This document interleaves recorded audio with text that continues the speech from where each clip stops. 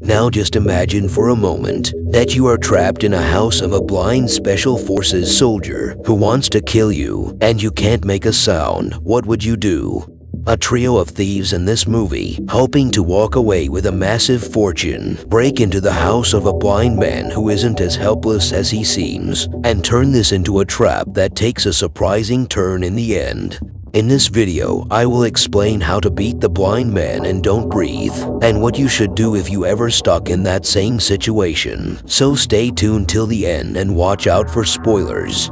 Three Detroit friends, Rocky, Alex, and Money, are small-time burglars and used to break into the houses of wealthy owners.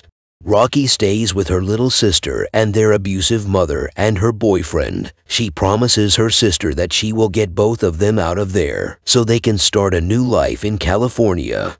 Alex lives with his father, an active policeman, who is never home and is apparently pulling double shifts at the local police station. Alex uses his father's computer connections to look for wealthy people to rob and use keys to break into the houses.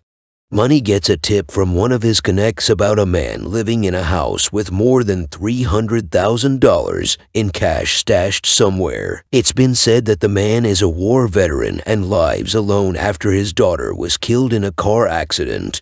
Rocky is on board since this could be the last robbery they ever have to pull off, and she can move to California with her sister. But Alex doesn't agree with the plan. He later relents when Rocky begs him, as he has a crush on her, even though she's with Money.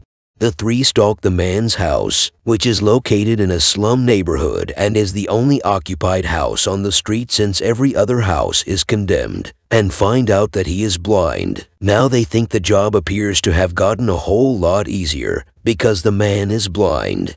But let's look for some red flags that one should notice here. The man is extremely fit for his age and he is living in a neighborhood where no one else lives with a trained Rottweiler dog.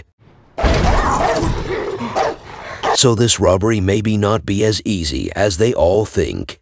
Later that night, the three initiate the robbery. The friends head toward the man's house. Money drugs the dog to get him to knock out, allowing them a safe entry into the house.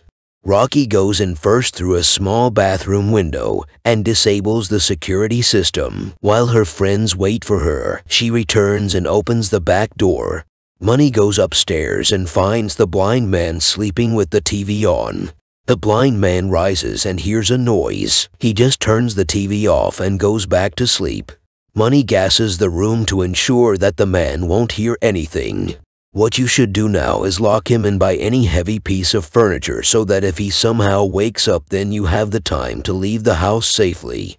The three find a locked door that leads to the basement. They think this is where they will find the man's stash. They try forcing it to open with a pry bar, and when that doesn't work, one of the burglars pulls out a gun and shoots the lock off. Alex decides to leave as he knows things can go very bad from here. Suddenly, the blind man appears behind them. Who, who's there?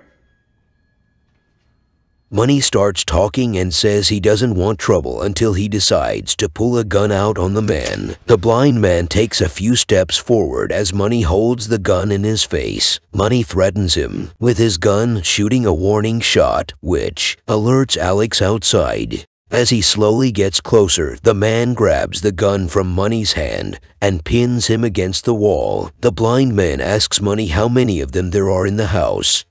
Now at this moment, you should realize that you cannot beat him with the power as the man have great physical abilities and can sense better.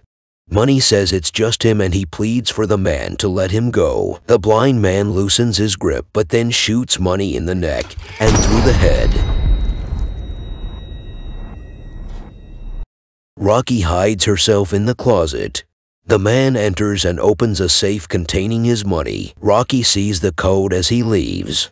Alex goes to find Rocky after the blind man starts locking up all the doors and windows. They both discover the cash inside the safe. Rocky quickly grabs the bundles of cash in the bag. Now they got the money, but how are they going to leave? They decide that they just have to sneak in through the basement and out the cellar door that leads outside. They head toward the basement, but the man emerges from there. Damn, that is scary. The two keep quiet as he holds Money's gun. Someone's phone goes off and he fires a quick shot. Incredible aim for a blind man. Rocky and Alex then head downstairs as the man drags Money's body outside, but they're about to find a horrifying surprise awaiting them in the basement. In the basement, Rocky is startled by a woman who's been chained up to the wall.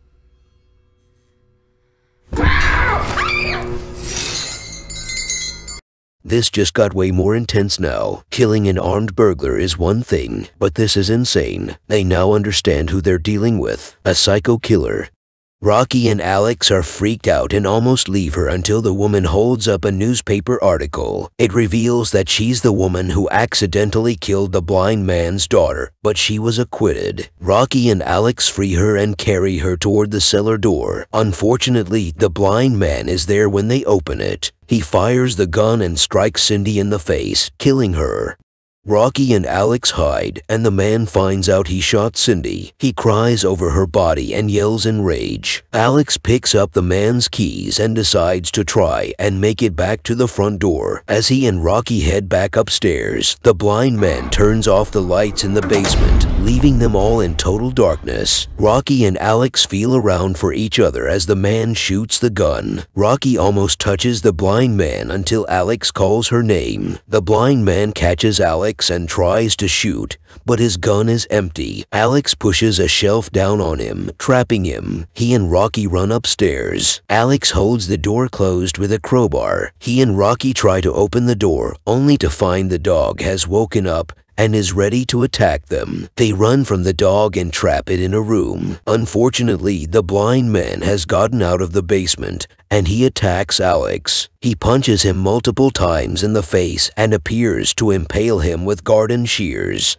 He then finds Rocky and knocks her out too. Rocky wakes up in the basement, chained in the same spot as Cindy. She tells the blind man that this won't bring his daughter back. He says that's not entirely true. He impregnated Cindy to give him a child to make up for the one she killed, and he would have let her go once she gave birth. With Cindy dead, his unborn child has died as well, and he holds Rocky accountable.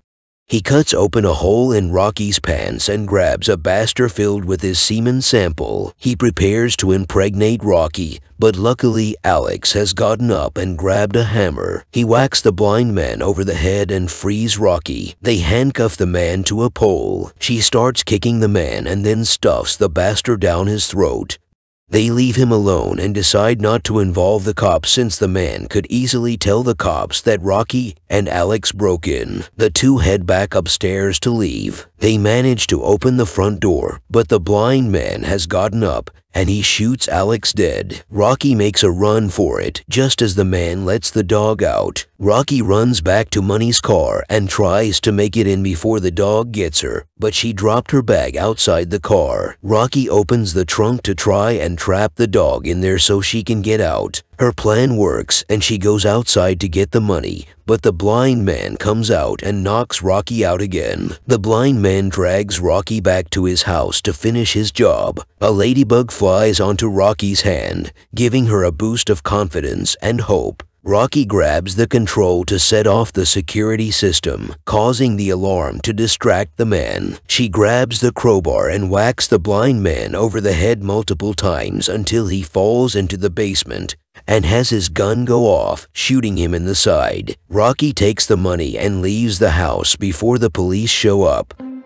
Rocky is now with her sister at the Detroit airport, ready to start their new lives. Rocky then sees a news report on TV stating that the blind man was found alive and that only two burglars were reported as breaking into his home and that he killed both of them. There's no mention of her name or any money being stolen, but the veteran is still alive and recovering in the hospital. He hasn't told anyone about what really happened, but who knows what he'll do once he's finally out. But what do you think? How would you beat the blind soldier? Let me know with a comment down below. Thank you so much for watching. Please subscribe and leave a like on this video. Take care.